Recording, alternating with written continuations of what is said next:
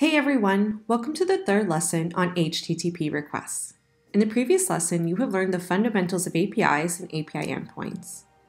In this lesson, you will learn how to make a request to an API inside Integromat and how to use the data retrieved inside your scenario.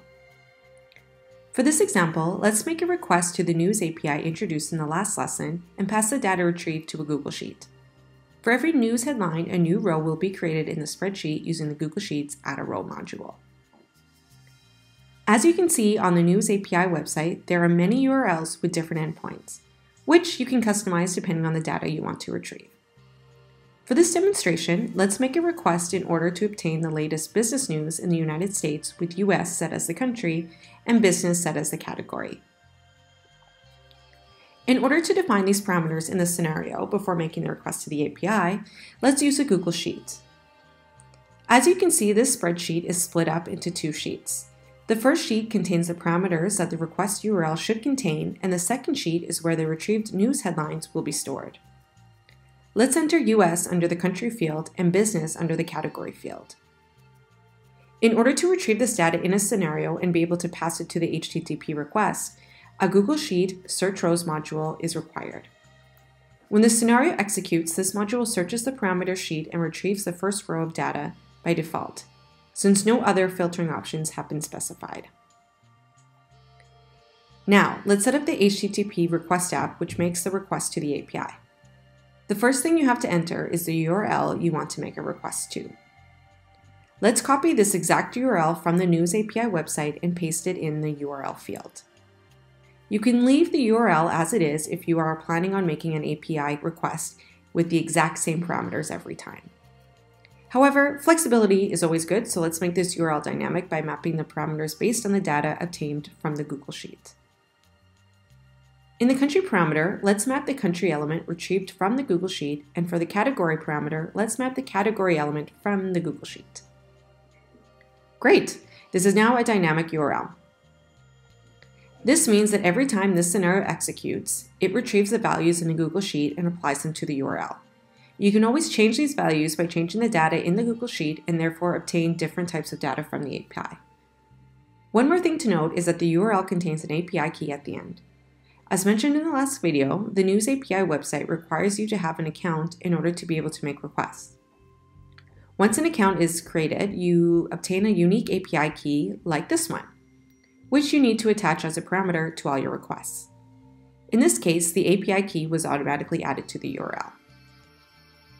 The next option to select is the request method. As you can see on the News API website, all the requests that can be made to this API are of type GET. This is because you are always trying to retrieve data. Therefore, let's select GET as the request method. Now, let's introduce the query string option. This option allows you to split up the API endpoint into smaller, more readable parts. As you can see, the API endpoint in this example is split up into three parameters country, category, and API key. Let's delete it and recreate it using the query string option. The first parameter is a country, so let's type country as the name and map the Google Sheet data field as the value. Let's add the other two parameters in the same way.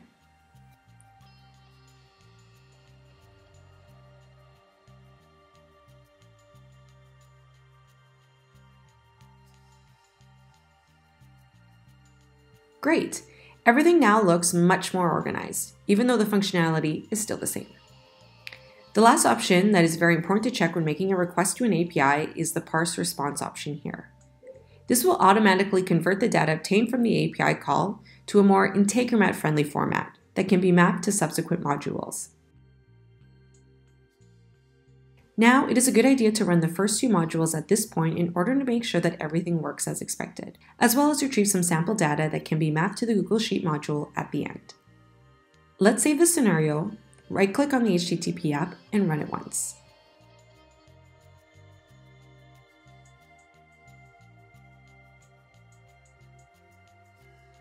The scenario executed successfully. Let's take a look at the output. As you can see, the output data has been parsed and has been split into articles where each article is a collection with all the information associated with it. This data can now be mapped in another module. Now it's time to set up the fourth and final module of this scenario in order to organize and display the retrieved data in the Google Sheet. Before doing that though, it is important to iterate the array of articles that the HTTP app outputs in order to be able to create a new row in the spreadsheet for every article retrieved. To do that, simply add the articles array as a value of the iterator module. Great. Now, in the Google Sheets Add a Row module, the sheet selected this time is News Headlines. As you can see, the sheet contains all the different fields of data that each retrieved article has. The first field is Country. The data for this field will be mapped from the Google Sheet module in this scenario. Same for Category. Now for the source, let's select the source name from the data of the HTTP module under the articles array. For the author field, select author and so on.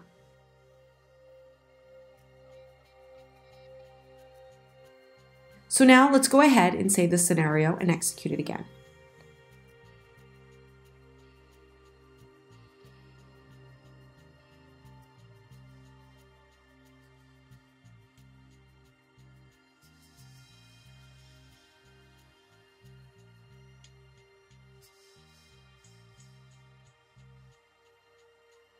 As you can see, the scenario was executed successfully, and the Google Sheet now contains a list of all the articles retrieved from the API request.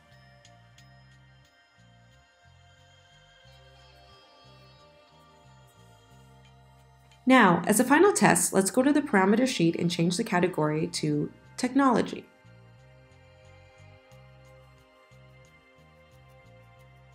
Let's execute the scenario one last time and see if this will retrieve all the latest technology news in the US.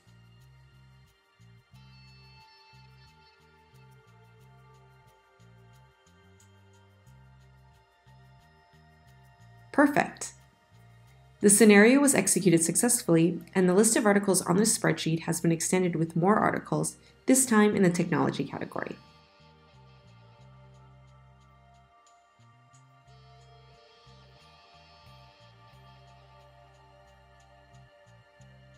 So, to recap, you can make an API URL dynamic by mapping an element from another module to the parameters of the API endpoint.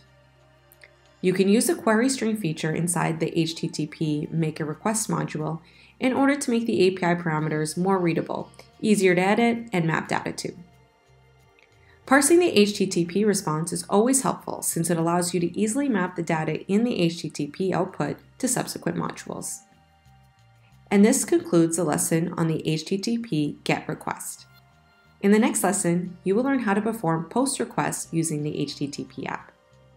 See you there.